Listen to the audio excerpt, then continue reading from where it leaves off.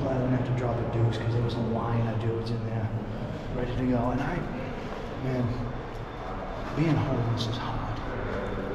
It really is. I'm telling you, I think the hardest part about being homeless is get to be where do you drop Duke's?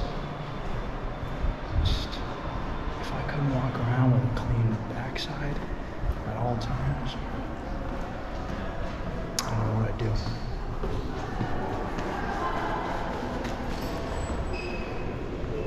Oh, I'll go on, don't you worry, I'll go back up there. I want to show you guys something first, not this cheesy fucking bar.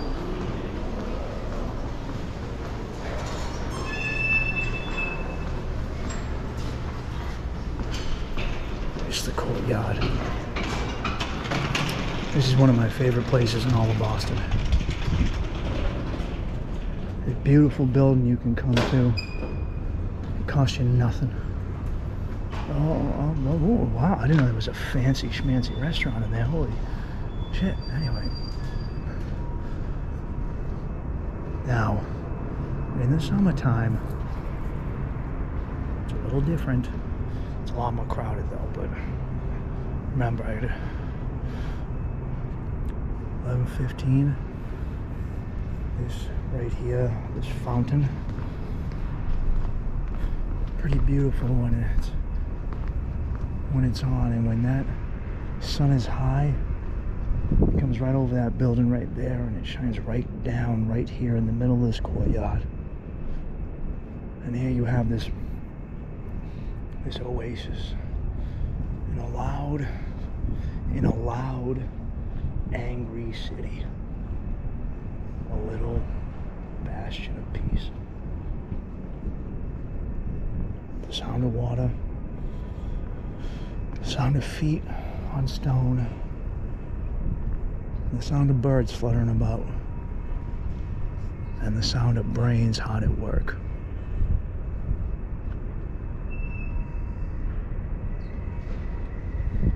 I remember sitting right here as a young man.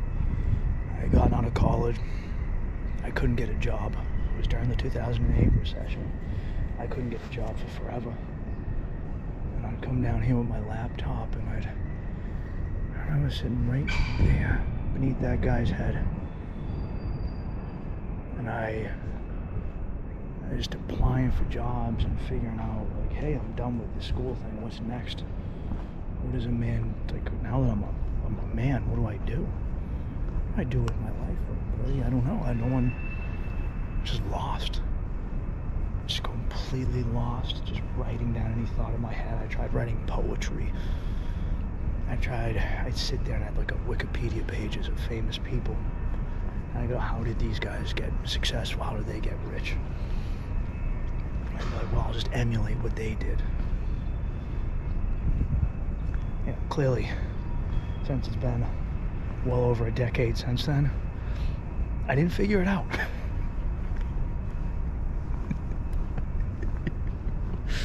but but still still a very fond memory. All right let's get inside. Let's get you inside. I really wish I didn't put that jacket in my backpack. Maybe it'll help me at night I'm, I'm going to see Killers of the Flower Moon. And none of my friends will go with me because Oh, we don't want to go see a three and a half hour movie. We don't want to see a three hour movie. Shut the fuck up. They'll sit there for three hours on TikTok, sit there for three hours on Instagram Reels, but they won't won't come with me to see Leonardo DiCaprio in an Indian movie for three hours. Get out of here. Sure, anyway.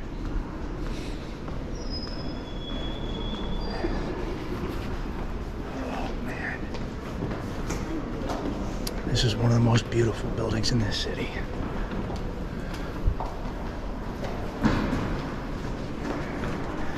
If all my taxes went to shit like this, I wouldn't mind paying taxes. Unfortunately, they go to blowing up little kids. That's a weird fashion. Roar.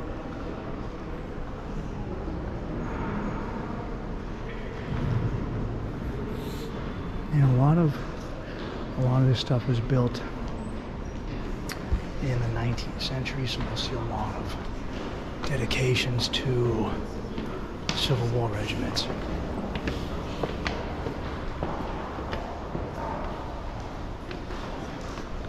What's funny is that now that I'm with a Colombian, I can spot Colombian girls from a mile away.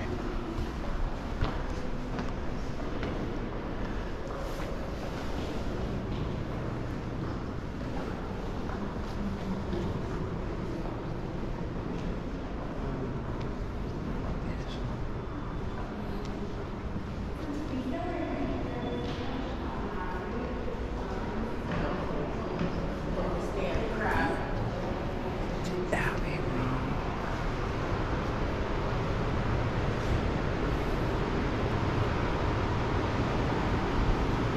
So this room was um, was based off of uh, maybe the Arthurian legends. Arthurian legends, I want to say. Um, I want to say it was Percival. Hold on, let me double check. I think they got it. Yep, Sir Galahad, his quest for the Holy Grail.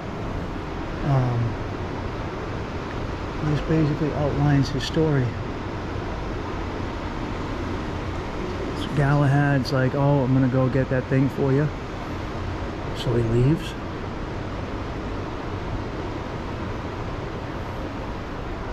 He has quite a few adventures along the way.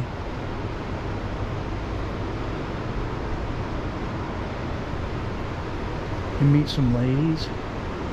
Uh, an angel.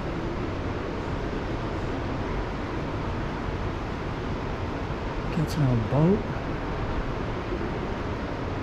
Finds that holy grail or some stuff with heaven.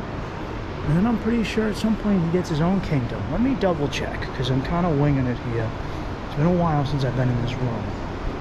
I owe you guys at least that much. Let me see.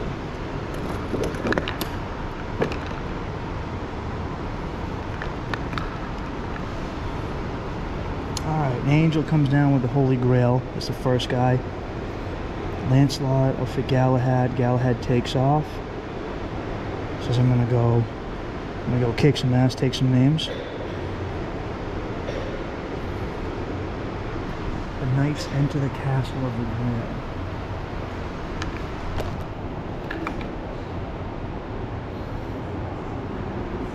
Galahad contemplates his quest over there in the corner. He fights the Knights of Darkness and the Seven Deadly Sins. Good anime, by the way. Monk gives him key to the Castle of Maidens. Oh, Castle of Maidens, huh? Oh, yeah. Maidens welcome Sir Galahad. Oh, I bet they did. so Galahad gets married because he's had enough time being a player. It's time to settle down. He weds Blanche, Blanchefleur. On his return to the Castle of Grail, he manages to break its spell. And he passes from the now peaceful land in a white, on a white steed, crosses the seas, the city of Sarras. comes the king of Sarras and builds a golden tree. He achieves the Grail, and his spirit ascends from this earth. You know, I'm telling you, we don't need all these new fancy superhero shows when you got Sir Galahad. I, I had to be quiet in here because this Bates Hall is. I would come in here when I was an early comedian and I would sit down and I would work on my computer and email bookers and I would write jokes. I would try and write ideas for screenplays. I feel more productive in this room than anywhere. You can like look, I understand I've tried working at home, it doesn't work. When I'm around other people that are working, that are being smart, that are using their brains, it feels like this place feels like a gym for the brain. You know when you walk into one of those gyms where people are like squatting 400 pounds and you go, whoa, this is serious? That's how I feel in here. But I gotta be quiet.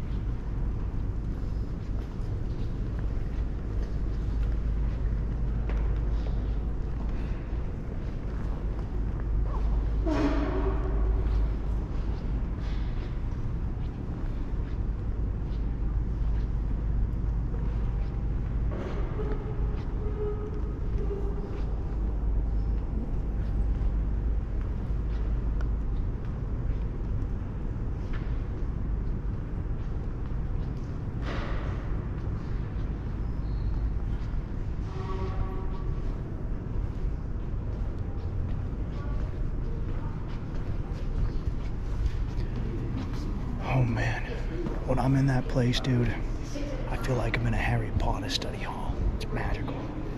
It is. It's magical. Not only does it feel magical, but it's like, how do I explain this? I'm, I'm so determined to be quiet and studious that, you know, those are rooms that you're afraid to find. So down here, they used to have computers that anyone could use, and they'd be like homeless dudes in here, like fucking watching porn. They come in here and they'd just be jamming out. Oh, no, no, no more. They would just be hardcore watching you. Face masks recommended. How about no? Hey, Georgie.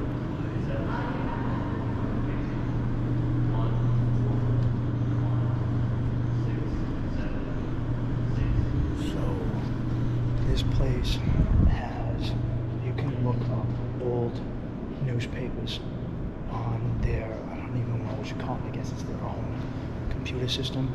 They have Rolodexes where you can go in and you can pull stuff out and it's pictures of old newspaper.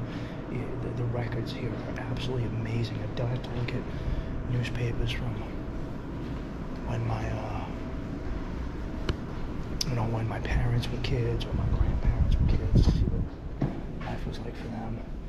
And uh, this is the new wing. It's not, you know, it's not as nice as the old wing, but.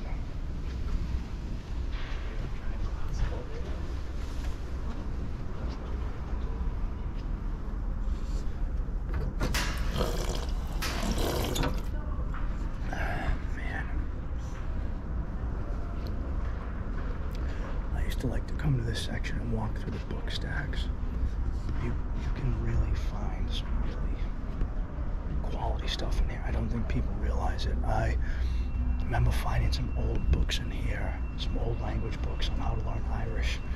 I had the ambition to learn for, Jesus, man, since I was in my early 20s, and I still haven't learned it. Let me see, they're probably still here. Gaelic in Scotland, oh baby. Uh, Celtic verse, Irish English, Welsh. Oh, that's the Celtic section. Um, I found an amazing book here called Death of a Jewish Neighborhood, which explained how um, Boston used to have Boston's black neighborhoods used to be Jewish, Roxbury, Mattapan, and then the the bankers came basically because the Irish and the Italians couldn't pay off their loans, there was uh, there's always a dude snoozing in here. Um, they couldn't pay off their loans. They said, "There's no, we can still make money off them." Unfortunately, the Jews have paid off their loans, so we're gonna force them out so we can put black people in their place and get black people in debt and profit off of it. Real scumbag shit. Similar thing happened in a home.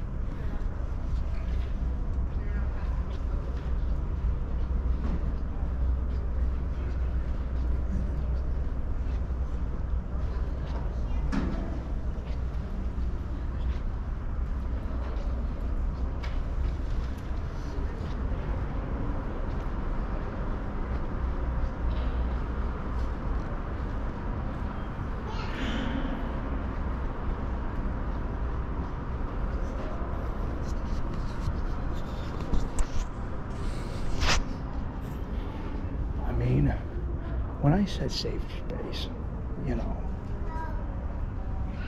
safe place doesn't like it's a teen center, right? You're a teen, you want to go. Not many, like I said, as a teen, I was afraid to go to the library for how people would call me a pussy. If the library has a sign that says safe place, do you think that's cool? Do you think teens want to go there? They do get the comfiest chairs in the whole place.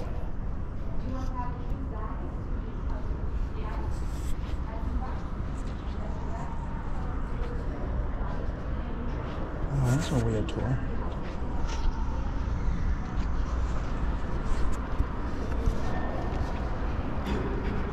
Uh, it's just a lady wearing a bag on her face.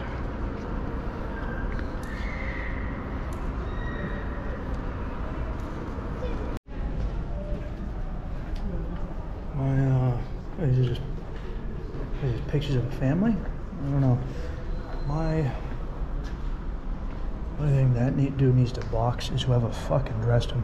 Anyway, I fucking love this place. And it irks me that I don't know.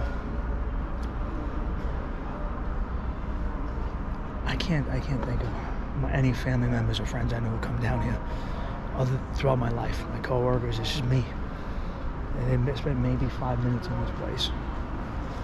You know, I get that you, you wouldn't always come down here if you if you're working full time. When would you? You know, you're not gonna be like, hey, let's spend the weekend at the Copley Library. I guess I've just had a life that gave me the free time. But even when I was young and free, and or when my friends got laid off, what's this little guy doing?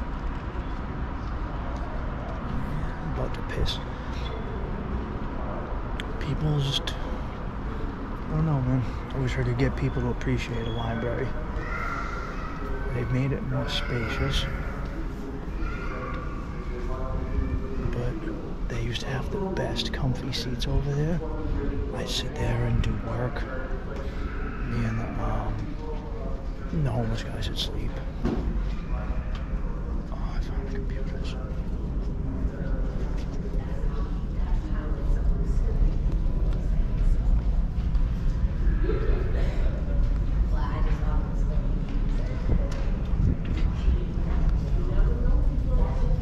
John Nefari. So they used to be a really cool um, map of the old city of Boston. Oh, we got movies and. Oh, dude, I've been looking for this one. The Anuradha, blah blah blah blah. The uh, Anuradha Paudwal Golden Collection. I only get the. I got the silver collection myself. One real question is, um, who is coming to the library to rent a Green Day CD?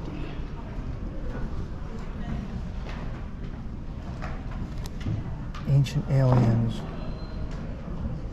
the soundtrack, all right?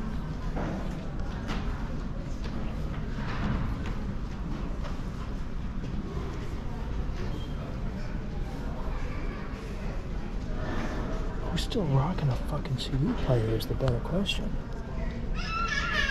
Norah Jones?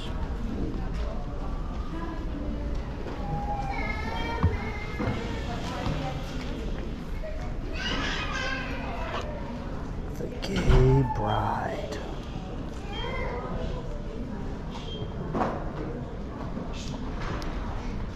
Oh. Oh, this is about a happy bitch. I thought. I thought I thought she was getting married and she's like, oh no. You know, I like pussy. that's when that's when gay meant, you know, like yeah, I'm gay. Not like, you know, not the other way. Not that, yeah, I'm gay. You know, slightly, slightly different. oh, monk. All right, all right. I'm gonna have to. I'm gonna have to come down here and rent that.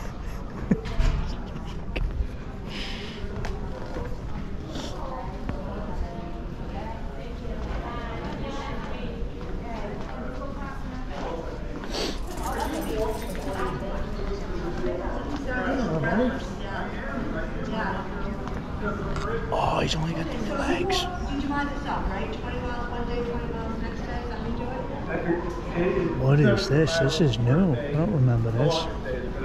Okay, and so then you can eat a lot on Thanksgiving. Cafe. Are we podcasting? Hey, GBH? uh, Jim McGovern, before you go, is Joe Kennedy close enough to take your phone for 60 seconds?